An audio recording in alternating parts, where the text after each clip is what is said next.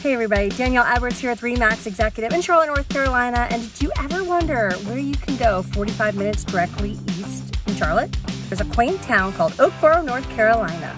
And it's really special. I just wanted to give you a taste of what I experienced.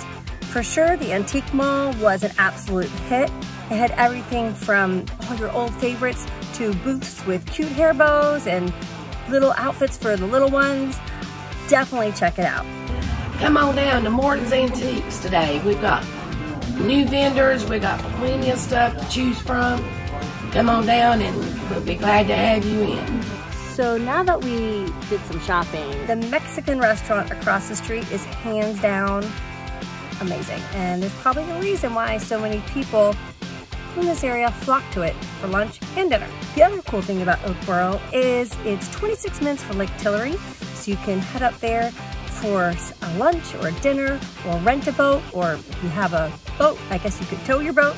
Lake Tillery is absolutely gorgeous. And don't forget, east of Charlotte is the Uwharrie Mountains, one of the first official mountain trails on the East Coast. So remember, it's getting close to springtime. Get out and explore our beautiful state. There's so much to offer and support local business. If you found this video useful or helpful or just enjoyed it, be sure to like, comment, and if you have any questions about living in our beautiful state, be sure to reach out.